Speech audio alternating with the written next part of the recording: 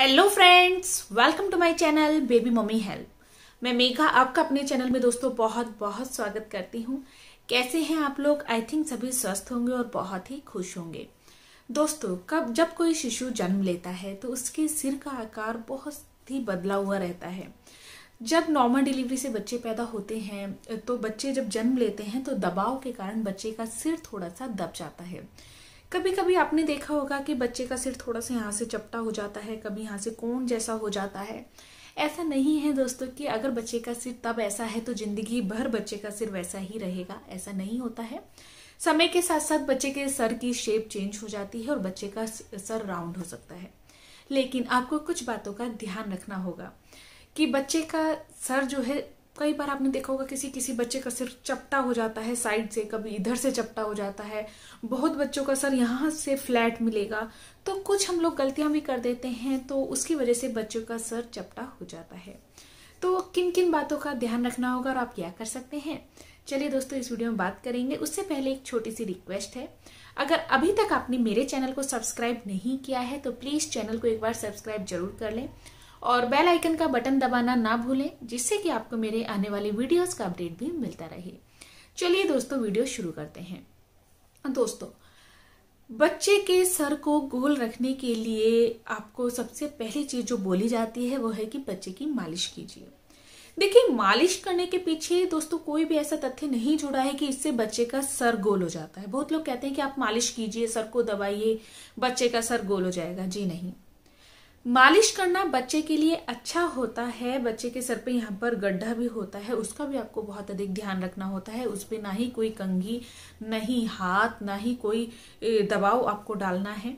आप मालिश कर सकते हैं। बहुत ही हल्के हाथों से बच्चे के सर की मालिश कीजिए से बच्चे को अच्छा लगता है। लेकिन मालिश करते हुए आपको बिल्कुल भी बच्चे के सर को नहीं दबाना है।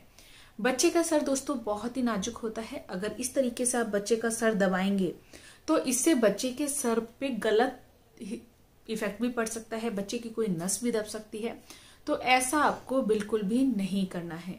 आप कभी भी खुद से डॉक्टर बनने की कोशिश ना करें तो ऐसा आपको बिल्कुल भी नहीं करना है। दूसरी चीज़ है दोस्तों, राई का तकिया। देखिए, राई का तकिया काफ़ी यूजफुल होता है। आप एक छोटा सा राई का पिलो बनाइए, राई का पिलो आप बच्चे के सर के नीचे लगाइए। इससे क्या होता है कि जब बच्चा हिलता है, थोड़ा सा सर हिलाता है तो बच्चे के सर के हिसाब से ये एडजस्ट हो जाता है। अगर आप बच्चे को सीधा लिटाते हैं तो ये जो बच्चे के सर का ये हिस्सा होता है, ये पिलो के अंदर चला जाता है और बच्चे का जो सर है, बिल्कुल फ्लैट नहीं होता है। तो आप राई का तकिया बच्चे को लगा सकते हैं। अगर डॉक्टर्स के हिसाब से चले तो डॉक्टर्स बच्चे को सात से आठ महीने बाद ही राई का तकिया लगाने के लिए बोलते हैं। उससे पहले मना किया जाता है, लेकिन राई का तकिया आप थोड़ा सा जल्दी भी शुरू कर सकते हैं, इससे कोई भी नुकसान नहीं होता है। तीसरा है कि अगर आपका बच्चा रंग बिरंगे खिलौने देखता है, खुश होता है तो बच्चे का ध्यान भटकाने की कोशिश करें। आप बच्चे को कलरफुल टॉयज दिखाइए, बच्चे को इधर इधर कलरफुल टॉयज दिखाएँगे तो बच्चा अपनी गर्दन को मूव करने लगता है। मूव करने से आपके बच्चे की गर्दन एक ही तरफ़ से फ्लैट नहीं होती है।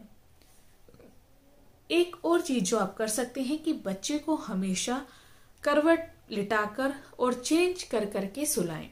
देखिए दोस्तों, जब आप बच्चे को एक ही पोजीशन में लंबे समय के लिए सुलाते हैं तो इससे बच्चे की जो सर है वो चपटा हो जाता है। तो आपको इस चीज़ को ध्यान रखना है कि अगर आपका बच्चा सो रहा है तो पहले एक पोजीशन में, उसके बाद बच्चे को दूसरी तरफ़ से सुलाएँ। इससे बच्चे का सर कभी भी चपटा नहीं होगा। ध्यान आपको किन बातों का रखना है? इन्हीं बातों का आपको ध्यान भी रखना है। बच्चे को कभी भी एक पोजीशन में ना सुलाएँ। कभी भी बच्चे का सर ना दबाएँ। कभी भी बच्चे के सर पे गड्ढे पर कोई भी कोम वगैरह लगाने की कोशिश ना करें। कभी भी बच्चे के सर पे बहुत ही खुशबूदार तेल ना लगाएँ। कोई केमिकल युक्त पदार्थ का बच्चे के सर पर इस्तेमाल नहीं करना चाहिए। ये सब चीज़ें आपको ध्यान रखनी है। उम्मीद करती हूँ दोस्तों आज का ये वीडियो आप लोगों को पसंद आया होगा। पसंद आया हो तो चैनल को ज़रूर सब्सक्राइब करें। Thank you for watching baby mummy help thank you नमस्कार।